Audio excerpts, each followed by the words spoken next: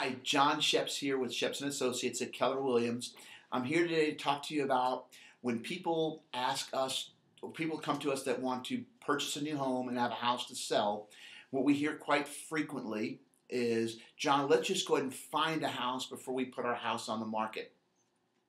And we, we always try to convince them not to do that because most times they're going to lose money. And let me explain how.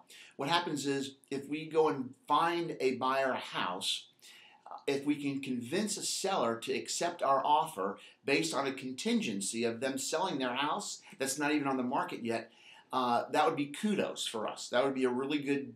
It would be a really. It would be a good thing to get a seller to accept that. Uh, but what the seller's going to do is they're going to say, yes, we'll we'll take the contingency offer, but you know, you're going to pay our asking price. So as a buyer's agent, we're going to lose money on the buy side.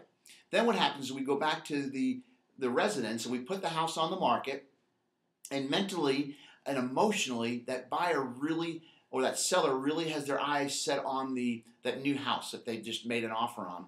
And once again, it's an emotional thing. They, they really do want that house. And then what happens when we get an offer on their property? they're not going to want to negotiate as hard. They're going to be more flexible in agreeing to a lower price. And here at Schepps and Associates, you know, we really like to negotiate and try to get the best possible price we can for our clients. So you'll lose money on the sale, you'll lose money on the buy. You know, you can lose anywhere from five to ten thousand dollars by trying to buy a house before listing your house. So, want to share that with you. Thanks so much for tuning in. Have a great day.